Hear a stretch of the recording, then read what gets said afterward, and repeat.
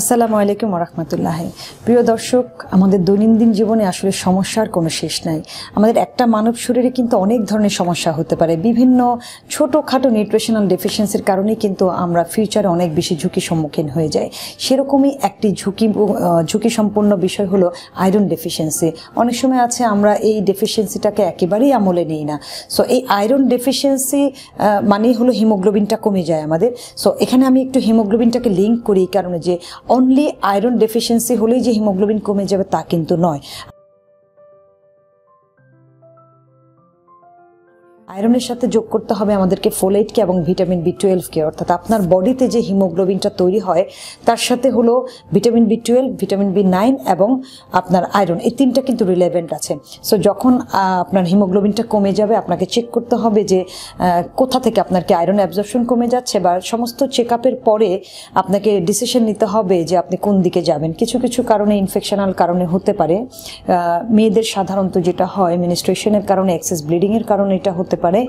আর normally আমরা আমাদের খাদ্য তালিকাটাকে আসলে ওইভাবে সাজাই না যে এভরিডে একজন ওমেনের কতটুকু আয়রন নেওয়া উচিত। সেই অনুযায়ী যদি আমরা সাজিয়ে ফেলি, তাহলে কিন্তু আমাদের আয়রন ডেফিসিয়েন্সিটা হয় না।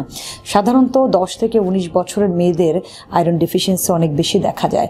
তাদের যখন আয়রন ডেফিসিয়েন্সি হয়, এই মেয়েই যখন ফিউচারে একজন প্রেগনেন্ট ওমেন হয়, তখন কিন্তু তার এই ল্যাকিংসটা রয়েই গেল। সেখান থেকে তার বাচ্চাও কিন্তু পেল। সো এই ল্যাকিংসটাকে কাভার করতে হলে চেষ্টা করতে হবে কিশোর কিশোর কিশোরীদের পুষ্টি চাহিদাটা ঠিক রাখার জন্য।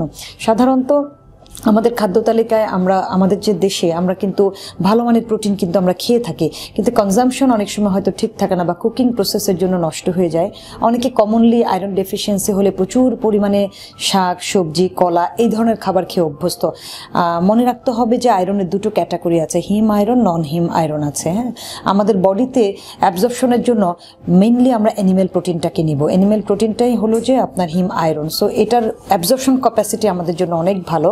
অর্থাৎ আমরা যদি আয়রনটাকে রিকাভার করার জন্য বিফ বা কলিজা খাই, তাহলে আমি দ্রুত রিকাভার করতে পারব। কিন্তু সেই জায়গায় যদি আমি লাল শাক, কচু শাক, এটা খেতে আমি না করছি না, কিন্তু এটা কনজামশন অর্থাৎ তুলনামূলকভাবে এর চেয়ে আপনি দ্রুত রিকভারি পাবেন ফার্স্ট ক্লাস প্রোটিনে একটা কথা মনে রাখবেন, ভালো প্রোটিন মানেই ভালো আয়রন সো ভালো প্রোটিনের মধ্যে আপনার ডিম পড়ছে, ভালো প্রোটিনের মধ্যে আপনার মাছ, মাংস ডাল, এগুলো পড়ছে।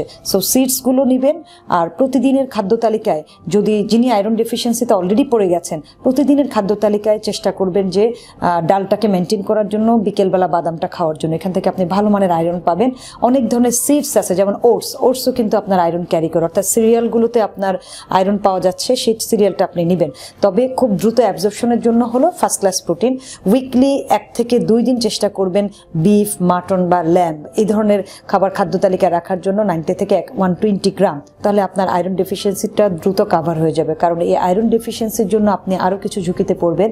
সেটা হলো যেমন আপনার শ্বাসকষ্ট হতে পারে উইকনেস তৈরি হবে মাসেল স্ট্রেংথ আপনার কমে যাবে, ওজন বাড়া শুরু করবে, বডিতে পানি চলে আসতে পারে সো রোগ প্রতিরোধ ক্ষমতাটা কমে যায়। সো আয়রন ডেফিসিয়েন্সি হলে অনেকে আছে যে ওজন গেইন করে, সে কিন্তু বুঝে না কেন তার ওজনটা গেইন হচ্ছে।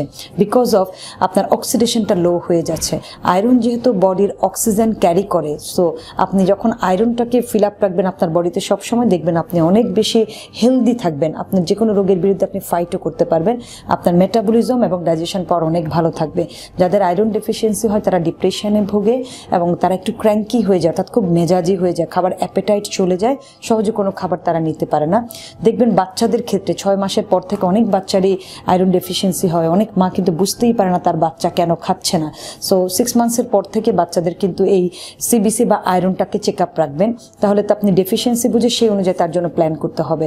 এবং আমাদের দেশে কিশোর কিশোরীদের কোনো হেলথ চেক আপের কোনো প্ল্যান হয় না।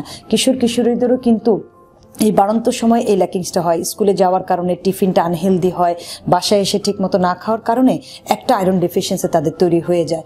সো সেখান থেকে অনেক সময় হেয়ার ফল হয় স্কিনটা তাদের নষ্ট হয়ে যাচ্ছে।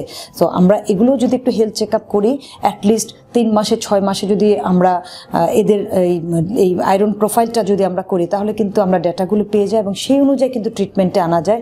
অটোমেটিক্যালি শুধুমাত্র নিউট্রিশন দিয়েই কিন্তু আমরা আয়রন ডেফিসিয়েন্সিটা দূর করে দিতে পারি।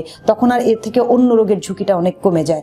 তো মনে রাখতে হবে যে আয়রন ডেফিসিয়েন্সি আপনি যখনই হবেন, একে আপনাকে গুরুত্ব দিতে হবে।